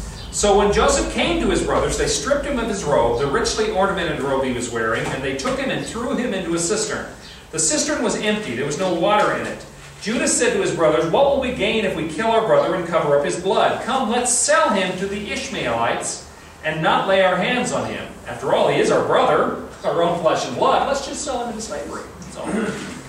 His brothers agreed. So when the Midian, uh, Midianite merchants, again, there were of the tribe of Ishmael, so they were Arabic, but they came from the land of Midian. That's why they're called both Ishmaelites and Midianites. Uh, so when the Midianite merchants came by, his brothers pulled Joseph up out of the cistern and sold him for 20 shekels of silver to the Ishmaelites, who took him to Egypt. And so here you have the uh, root of Jacob, and then also the root of the Ishmaelite traders. The Ishmaelite traders here in blue, having come across to Dothan, where they buy uh, Joseph, and then they go down here into Egypt. This is the Egyptian, the Nile Delta. All right. Now, while he's in Egypt, Joseph remains righteous, but is imprisoned anyway. The Lord was with Joseph so that he prospered, and he lived in the house of his Egyptian master. When his master saw that the Lord was with him and the Lord gave him success in everything he did, Joseph found favor in his eyes and became his attendant. Potiphar, that's the official's name, Potiphar put him in charge of his household, and he entrusted to his care everything he owned. Now Joseph was well built and handsome, and after a while his master's wife took notice of Joseph and said, Come to bed with me. But he refused. And though she spoke to Joseph day after day, he refused to go to bed with her or even be with her. One day she caught him by his cloak and said, Come to bed with me. But he left his cloak in her hand and ran out of the house. When she saw that he had left his cloak in her hand and had run out of the house, she called her household servants. Look, she said to them, this Hebrew has been brought to us to make sport of us. He came in here to sleep with me, but I screamed. Yeah, you screamed because he got away. But when his master heard the story, his wife told him, saying, This is how your slave treated me. He burned with anger. Joseph's master took him and put him in prison, the place where the king's prisoners were confined. So Joseph is righteous. He, he remains moral. In fact, when the wife asked him, you know, sleep with me, he said, How could I How could I do that against my master who's been kind to me and put me in charge of everything? And how can I sin against God by doing that? So he's very righteous because he believes in God, and that God is still in charge, even though he's been sold into slavery by his brothers, etc. He's put in prison, he meets the cupbearer and the baker. He prophesies that the cupbearer will be released, the baker will be killed. It happens. The cupbearer promises to remember him and then promptly forgets him when he gets out of prison. And then later, when Pharaoh has two dreams of the seven cow, good cows eaten by the seven skinny cows and the seven heads of grain, good heads of grain destroyed by the seven uh, ugly, awful heads of grain, the cupbearer remembers, they bring Joseph. Joseph uh, prophesies, or rather interprets, for Pharaoh. Then Joseph said to Pharaoh, The dreams of Pharaoh are one and the same. God has revealed to Pharaoh what he is about to do. The seven good cows are seven years, and the seven good heads of grain are seven years. It is one and the same dream. The seven lean, ugly cows that came up afterwards are seven years, and so are the seven worthless heads of grain scorched by the east wind. They are seven years of famine. It is just as I said to Pharaoh, God has shown Pharaoh what he is about to do. And now let Pharaoh look for a discerning and wise man and put him in charge of the land of Egypt. The plan seemed good to Pharaoh and to all his officials. So Pharaoh asked him, Can we find anyone like this man, one in whom is the Spirit of God? Then Pharaoh said to Joseph, Since God has made all of this known to you, there is no one so discerning and wise as you. You shall be in charge of my palace, and all my people are to submit to your orders. Only with respect to the throne will I be greater than you. So Pharaoh said to Joseph, I hereby put you in charge of the whole land of Egypt. Talk about a promotion from prison to being in charge of the whole land, the richest and most powerful land in the world at that time. Then Joseph welcomes his brothers down to Egypt. Remember, they came down looking for grain because the famine had happened, and Egypt had grain because Joseph had gathered it all up during the seven good years. And at first, Joseph doesn't reveal himself. The brothers go back, then they return later for more grain, and this is where Joseph reveals himself. Then Joseph could no longer control himself. Joseph said to his brothers, I am Joseph. Is my father still living? But his brothers were not able to answer him because they were terrified at his presence. Sold anybody into slavery much? Okay. They were scared. Rightfully so, you'd think. Then Joseph said to his brothers, Come close to me. When they had done so, he said, I am your brother Joseph, the one you sold into Egypt. And now do not be distressed and do not be angry with yourselves for selling me here, because it was to save lives that God sent me ahead of you.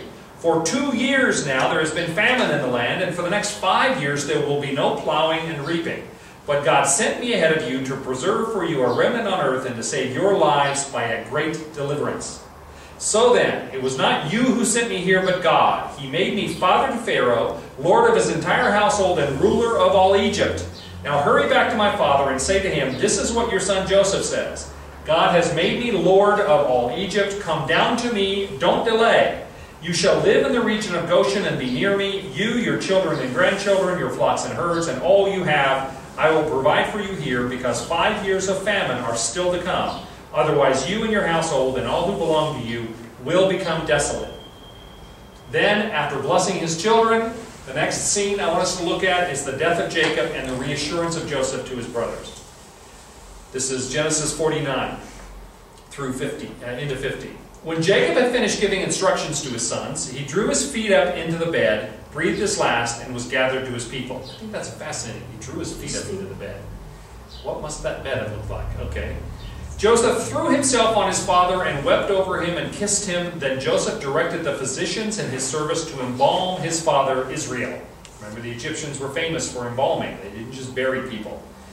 When Joseph's brothers saw that their father was dead, they said, What if Joseph holds a grudge against us and pays us back for all the wrongs we did to him?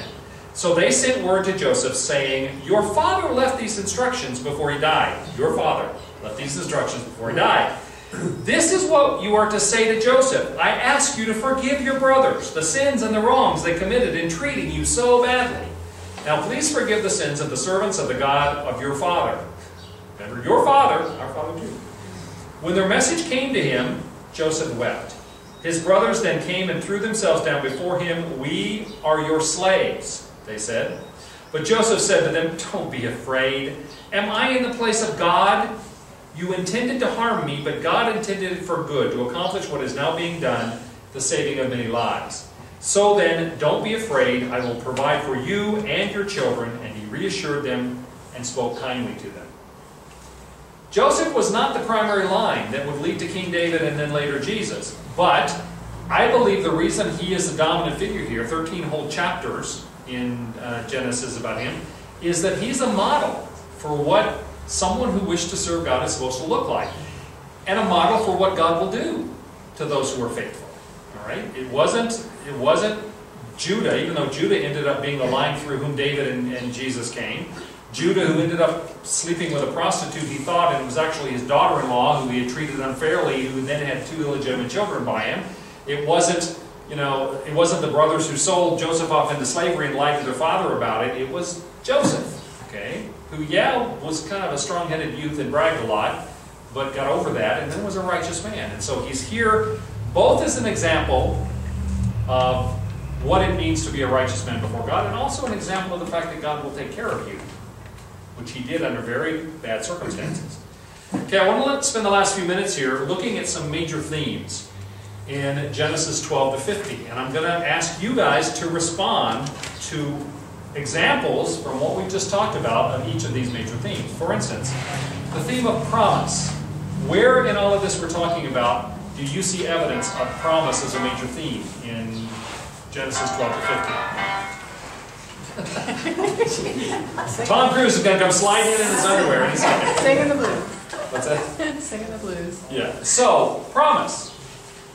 The covenants to all of the children. Okay, the covenants to all of the children. God had made a promise even to Noah earlier, which he then, you know, makes a promise to Abraham, to Isaac, to Jacob, to Sarah. You know, you will have a child, even though you don't believe it. You're, you laugh at me when we when I tell you that. Who else? Who else did he make a promise about, or to? Oh, Isaac Well, yeah, the covenant promises. Also, Hagar and Ishmael. The promise was made to Abraham that I will take care of him, don't worry. And he fulfilled that promise, contrary to all expectations.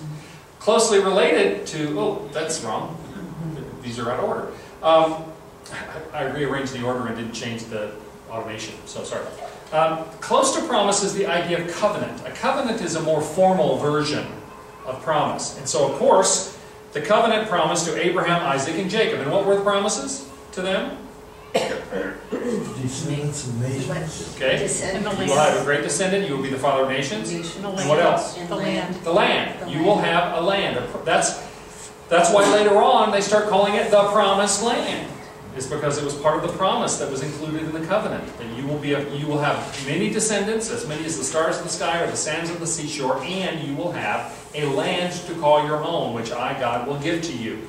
And that was the promised land. Um, and that promise, the covenant promise, was to all future Israelites. You know, we have, there, there was a, a version of a covenant really to Adam and Eve. There was a, the Noahic covenant to Noah, the Abrahamic covenant. Isaac, Jacob inherited that. There's the Mosaic covenant. There's the Davidic covenant, covenant that your, your people will sit on the throne. We'll get to those, you know, uh, future classes when we talk about David. We'll get to the Mosaic covenant um, in two weeks. But, and then redemption. What does it? What does redemption mean? To forgive, to buy My back. right back. To buy back? Uh, would, um, the sacrifice of Isaac be redemption because he redeemed him, God redeemed him from death? Right. He kept him from from From uh, from killing him. Another way to think of redemption in this context is means to save. You know, you redeem something, you, you, you save it from whatever whatever it was going to be. You know, you, you bring it back. And in that regard, Lot and his family were Lot. redeemed. They were saved from the destruction of Sodom. Um, uh, Joseph was in slavery and was in prison. And God redeemed him. He brought him out. Okay. Um, again, Hagar and Ishmael. God saved them, redeemed them, gave them a future when there was none. Okay. and Joseph saved his sons, and, I mean, his brothers and his father. A, a very good point. Joseph saved his the whole rest of his family. He he redeemed them from from starving and uh, gave them a home. Now we're going to find out that generations later it ended up kind of bad for the Israelites because of that but that wasn't Joseph's fault. Okay. Um, then the theme of faith. What examples do we have here in of terms of faith as a major theme? Okay, Noah. Well, well, Noah's earlier, actually. Noah's, I mean, you mentioned him as earlier because some of the promise was actually a fulfillment of something that was made in, in the primeval, the prehistoric prologue. But Abraham. Abraham, Oh my gosh. absolutely, the faith of Abraham. Yeah. It says that Abraham believed God and it was counted to him as righteousness. And that theme continues all the way through to Paul in the New Testament. You know, the faith of Abraham was the mark of what it truly meant to believe in God. What other examples of faith do we have? About Joseph. The salvation. Well, Yeah, Joseph had faith that God was going to take care of him, no matter how bad it got, and that's why he continued in his relationship with God. You know, he knew that God had promised that he would, you know, he would be great, and people would show him homage, even when he was in prison, even when he was in, um, you know, in dire straits along the way. Um, trusted in God. He had faith in God. Ron? Yeah, Isaac and Jacob didn't really seem to go the faith. Yeah, it's Jacob. Jacob changed. We're gonna, there's another one here coming up that applies to Jacob very, really well, I think.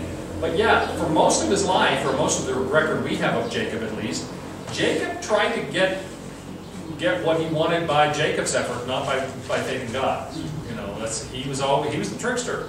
Um, But Isaac did have faith. He prayed for, um, the- the- For Rebecca? Rebecca to have a baby. Absolutely. He prayed for children through Rebecca, and God, God answered that prayer. Uh, another thing would be obedience. Abraham was obedient in offering his son. Joseph was obedient, you know, to God rather than give in to the temptations and you know opportunities that he had. Um, also, sacrifice. Obviously, Abraham. Uh, but the willingness of the people to, you know, to follow God even when it was difficult. Abraham, the sacrifice of, uh, the almost sacrifice of Isaac, they always call it the sacrifice of Isaac. It was the almost sacrifice of Isaac, uh, was the ideal example of that. And another one, transformation. Jacob. Jacob is the ideal one for that. Jacob, who, you know, as a young man, did everything to lie and cheat and steal birthrights and blessings and everything else, um, ended up being the father of the, the, of the people of Israel. In fact, he was Israel. And then his descendants. And he really did change, particularly the wrestling with God scene. After that, Jacob still had some dark moments, but for the most part, he changes in terms of his orientation. And so there is a sense of transformation, especially in Jacob. And finally, sovereignty of God Throughout. throughout. The sovereignty of God means God is always in control, even when it's not clear to us how that is. And so Abraham and Sarah thought, well, yeah, God said this, but he doesn't seem to be following through. So they questioned the sovereignty of God, and God proved it to them. You know, you had Rebecca, it didn't look like she was going to be able to get pregnant, and yet God was still in charge of that. You know, Jacob thought he had to do everything by his efforts, and yet God demonstrated that God was still in charge. You know, God was running everything. God's provision for for uh, Joseph in all of those difficult times. The fact that he, you know, Joseph's beautiful statements about you meant it for evil, but God meant it for good. What, did, what is that other than somebody saying God is sovereign? God is a good and loving God, and He is in charge. He is control. The sovereignty of God bears through. So all of these themes, some of which strike people more as New Testament kinds of themes, but promise, covenant, redemption, faith, obedience, sacrifice, transformation, sovereignty of God, those are some of the major theological themes which we see very clear examples of here in the story of the patriarchs, Genesis 12 to 50. And that's why all of Genesis, the primeval uh, history that we looked at before, the primeval prologue, and uh, the, the story of the patriarchs, the founding of the people of Israel, really are the theological foundations for everything that comes later, including the New Testament. You talk about Jesus, you're talking about the fulfillment of a promise. You're talking about God having made a covenant. Remember in all, all those covenants I kept pointing out, it says, and all the peoples of the world, will, or of the earth will be blessed through you. That's a promise. And it was fulfilled in Jesus. The redemption of Christ, faith in Jesus Christ being the way in which we're saved. The idea that, you know, once we are saved, we are called to obedience. To things, if you, if you love me, you will obey my commandments, Jesus said. Uh, the idea that He is the ultimate sacrifice for us, once for all. The idea that we are transformed. You are a new creature. The old things are gone. Uh, you know, a new has come.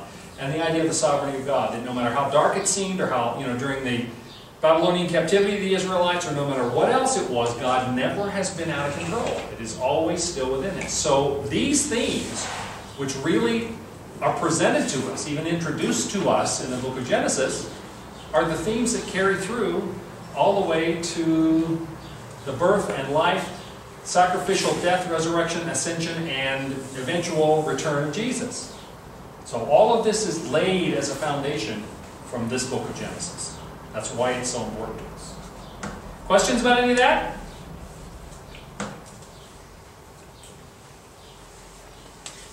And there they said stunned for some moments. Next week, we will meet Moses, and we will find out what happened to the Israelites. I think you may know.